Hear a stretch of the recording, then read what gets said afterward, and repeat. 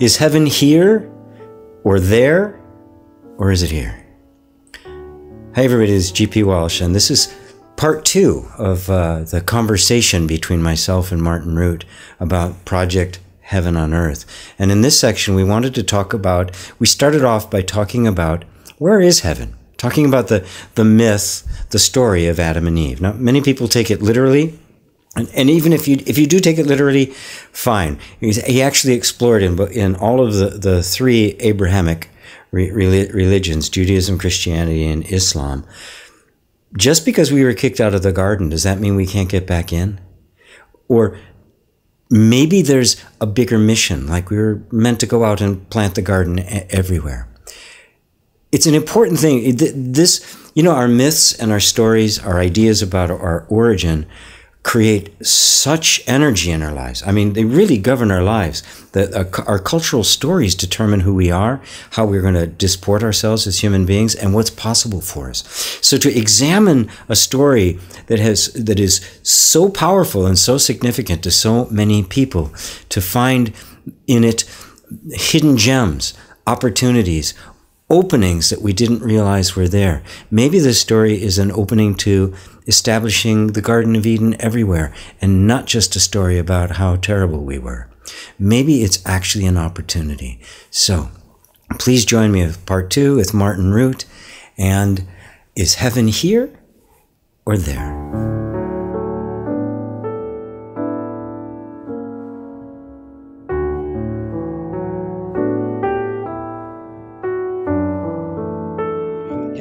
The 16th century, 15th century, heaven was considered to be just above the ground and going way, way up into infinity.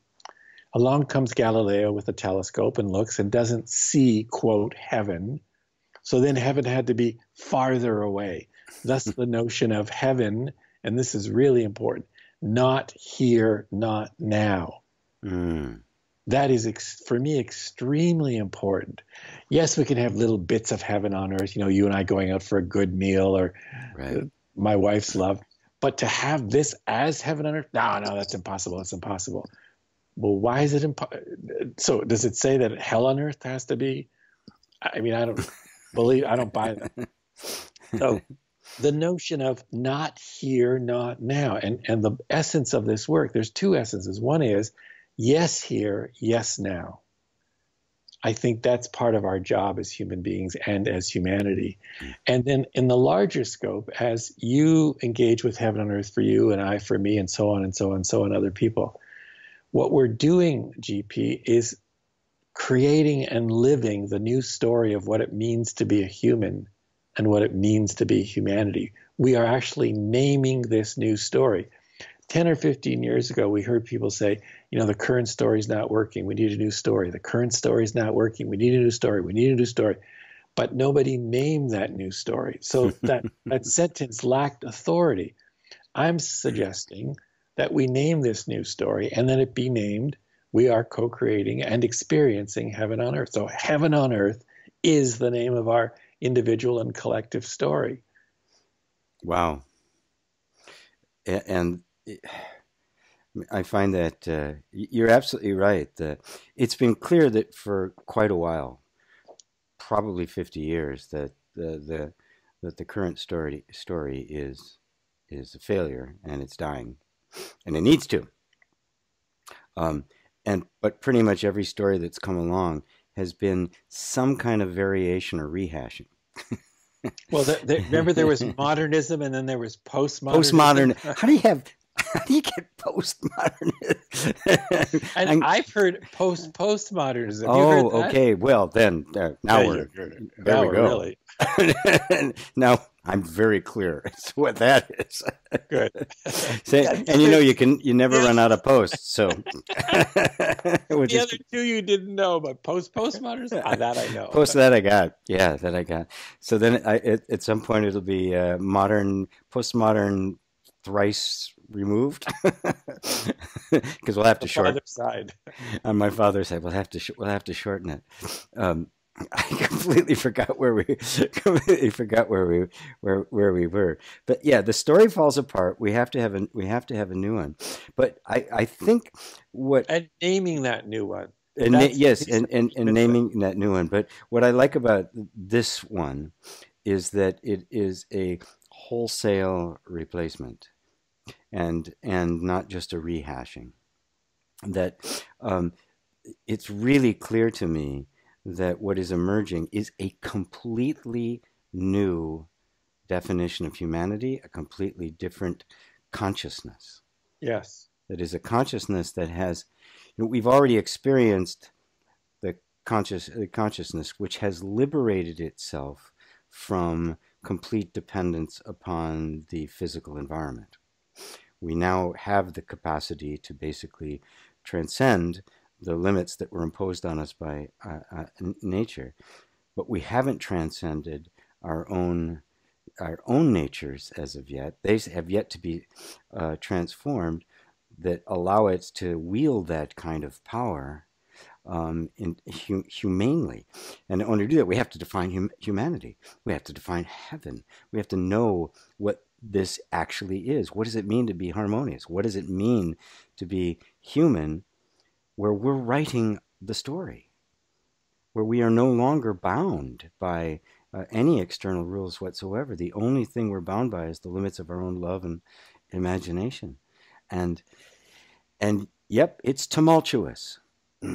It's a it's it, it's inevitably tumultuous because you know if you're gonna you know it's kind of a mess when you raise one building to put up another and you're not just doing renovations anymore and uh, and so this I mean, the idea of the idea when I just take it back to me, because what else can I do? I don't want to speak about heaven abstractly. For me, it's that series of of events that punctuate my life where just everything stops and I'm totally present and there's total harmony and I'm in the midst of this incredible experience of beauty and oneness, which is like looking at a flower or a sunset. Not even this, you know, some kind of spiritually ecstatic state. It's like this everyday kind of thing and I see, well, why not perpetually? Why not universally? God knows there's enough of it around us that it's only a matter of us seeing it. That, uh, as you said, you know, we somewhere along the line we got the idea that heaven was out there, and so we assume it's not here, and so we yes. act as if it's not here, and in fact, it's it's right here. and every single one of us can talk about it because it's right here. We're all looking at it. it's. I mean, I, I, am listening to you going. I think that's why we're brothers. I, I, I just love listening to you. Uh, yes, it's you. right here. The the belief that we were kicked out of the garden and can't go back in, which is not accurate. I have a whole section in my book about that. But what this is the garden. Our job right. is to make this into the garden. Yes. That and actually, it was the eating making this into the garden. It was the eating of that fruit that started to divide everything, um, that made us believe we had been thrown out of the garden. That was all our imagination. You were never thrown out. I want to talk a little bit about the, the notion of the Garden of Eden that you just raised. And um, what I've found out. So early on in the in the work on heaven and earth and in writing the book, I began to think about have we as humanity ever experienced heaven on earth? That is to, the totality of humanity. And the answer is yes, when we were in the Garden of Eden. That was all of humanity, and we were experiencing heaven on earth. Okay. God says, don't eat from the, the tree. They did. they get kicked out. And so um, I'm Jewish and I'm, I'm, talking to this Orthodox rabbi. And I said, I asked him, when we got kicked out, who got kicked out? Was it Adam and Eve or was it all of us? And he said, no, it's all of us because the phrase in Hebrew is ha Adam, the Adam, indicating the collective. Mm. So I said, okay, we're out, fine. And then, GP, this thought popped into my mind. And I said to him, does it say anywhere in the Torah that after we got kicked out, that we can't go back in again. And he said, I don't know. No one's ever asked that before. Let me go and find out. So I said, okay. So he comes back the next day and he says, no, it doesn't. No. I can, GP, I can still remember that. I, almost falling off my chair. It doesn't say we can't go back in, and and and further. That's I, a little oversight in religious history, don't you think? Oops, I forgot. Oops, nobody noticed that little so, so, um, so I began to look in Hebrew. I began to read what the, in Genesis, I think three twenty three. Don't quote me on that, but something like that. God kicks them out and God sends them out. Two verbs are used, and they're not the same verb, which just fascinated me. One verb is uh, which means to send out, and it means to send out. And so I said, well, to send out, but does that mean just one way? And and the rabbi said no, because garesh is also used in Judaism in divorce. So the man sends the woman out of the house, i.e., divorce. Mm. And I said, but if I don't remarry and, and my ex wife doesn't remarry, can't we get remarried again? Can't we go back together? And he said, as long as you're not remarried, yes, you can. So I said, so then the verb is not one way. And he said, no, it's not. I went, wow. Second verb is vayashlech, which means to send out with a mission. They were sent out of the garden with a mission. I'm saying that mission is to make this into the garden. That is our mission. So Judaism, a whole different view on on that uh, the story of Adam and Eve. Then I go to Christianity. What does Christianity say? Christ is the truth, the way, right? Through me, you can experience yes. everlasting, so on, so on. In other words, that it is possible to go back in Christianity through Christ. Okay, fine. So now I have Judaism and Christianity. Then I go to Islam. and Islam says, We're lining them all up. We're lining them up. exactly, exactly. Islam says uh, when you die, you go to paradise. And, and, so the bastardization, you know, the terrorists blowing themselves and other people up. And that's the way that we go to heaven. That's the bastardization of that. And so I thought, oh, nuts, that's not going to work in Islam then. And so I met a, a Sufi uh, man who said, well, Martin, the one interpretation of that is physical death, and then you go to paradise. But he said there's another interpretation of death, which is egoic death. And I went, oh my God. So you can experience egoic death here now and go into paradise. Thus, all three Abrahamic religions, if you look deeply, do not say you can't go back in. GP, that is an enormous revelation for me. Enormous. That is, uh, in, yeah, that is. That's deeply significant. It yeah. is Because the assumption we, has always been there's no way back. Correct. Yeah, it was a one way ticket. It was a one way ticket. Not true. Not true. we made it we made it all up. Yeah. We just we've we've lived for thousands of years under assumptions.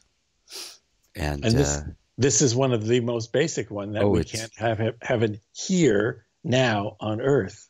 I right. mean, imagine, so so we can have some wonderful experiences, but I mean, we still have to have war and poverty and hunger and why? Why? Why, why does that kind of deep suffering? You know, when I when I see suffering, that just makes me crazy, and it's and it's unnecessary suffering. It's all unnecessary. It is all so, totally created by our own assumptions and beliefs that have simply hardened our hearts. And you know, I think one of the ways in which we go back into the garden is that we we our hearts are broken to the point where we experience genuine empathy. When the line between you and me blurs and your pain becomes my pain. When I can feel your pain, I can no longer inflict pain on you. I mm. have to become, uh, I have to become closed to it in order to in order to allow you to suffer or to cause you suffering. My heart has to harden. It has to. And uh, my experience, the more my heart is simply opened, the more I've felt others, the less harm I'm capable of doing. It's not a moral thing anymore. It's not, you know, behavioral. You don't do that because it's not good. It's like it hurts when I do it. so I don't do it. right? It's a self-correcting system. And to, to, me, it's kind of the essence of, uh, of uh, you know, that's kind of the, the self-regulating morality that is the morality Moses spoke of when he saw the day when the law would be written in our hearts and not just imposed on us from the uh, from from the outside, and which of course immediately opens up. Where's that originating from? It's originating from that essential unity, which is the experience of heaven on earth. Because when I feel that openness and I feel others' joy, I, I, I can have that too. That same door that allows me to just take on the sufferings of others and be willing to be with them compassionately and, and to seek and to seek seek their benefit as well as my own opens the door for the same level of celebration of of of of of, of others that I would for myself. Sometimes it's even better.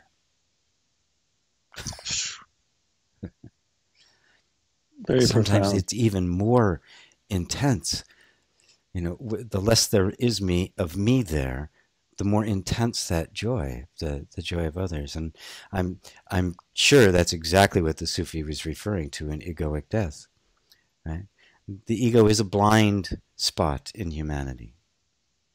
It is the it is the it's the selfish part that can't see beyond itself. It's not a mistake. It's part of our development. It was part of what developed developed us as far as we got. But one of the biggest uh, biggest transitions that's taking place is the universal death of the of the ego as being the the force that it is. I mean, it's it is what's running countries in the world, and it's what creates wars and divisions and and and the like. It is this this this functioning of the human nervous system that we have not seen through yet. Well, you said something I've, never heard before. Yeah, the universal death of the ego. Um, uh, Ken Wilber did something that was very interesting, or I heard about this secondhand. That the word "I" he traces the egos showing up around 1500. Don't quote me on the exact dates, but anyway, and the way he did that was by looking at literature before and after roughly that time. And around that time, I started to show up. And so your notion now of uh, the universal death of the ego, I don't know how we would know that's uh, here, but for me, that's a phenomenal question to begin looking to see how it is not here. How the ego is not here? How the yes, how the universal, in the same way that the ego showed up, say around the 1500s through ah. literature, how is universal ego now dissolving? How do I know that? And so I'm going to start looking for ways in which I can see that because you've introduced this new notion to me of the death of the universal ego. Well, I, I, you know how I know, you know, I know it's happening. Yeah, it's happening to me. And when I look around, I see very similar experiences happening. And I go, okay, so it's not it's not some great thing for me. I am experiencing something that's happening on a universal level. And you kind of see it. You see these pockets of well i mean in, in, in, your book and we've we've talked about this or 63 examples on your site there are pockets of light around pockets of heaven and earth. They're not getting in the press they're not being seen but they have all the earmarks of a of an entire culture that's based on mutuality rather than egoism that it's about mutual collaboration, about oneness, about heavenliness, rather than about competition and and uh, and and hoarding and winning.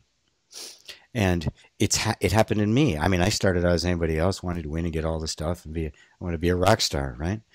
And it was like life itself just kept wearing me down, right? And showing me other other things. So it's not like it was this great revelation. I was rather, you know, the reluctant sage,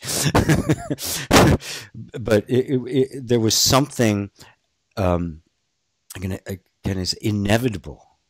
Mm, beautiful about it that was like beautiful. way way beyond me. And there's a great quote from Anthony de Mello who said, "Enlightenment is total surrender to the inevitable." And that's what it felt like. That in fact, the thing that was resisting the inevitable was the ego.